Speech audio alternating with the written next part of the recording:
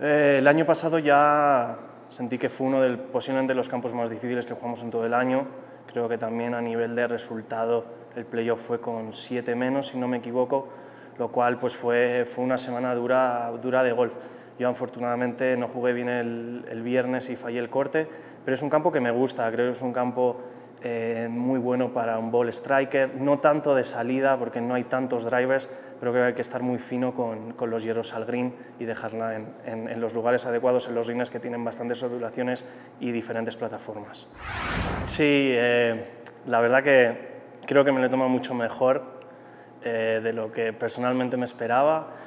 Sí, es verdad que pues, te quedas un poquito en shock, ¿no? El domingo, aparte lo están dando por la tele, yo lo estaba viendo en el locker room y sí, hice los cálculos y sabía que como muy bien iba a quedar 76. Y bueno, eh, no me lo he tomado mal, creo que dentro de lo que cabe estaba el 130 a falta de 7 torneos, si no me equivoco, y pues jugué realmente bien eh, al final del año. Y bueno, eh, me he dado la oportunidad de, tener, de ser el primer condicional para el año que viene a expensas de lo que haga en Q-School.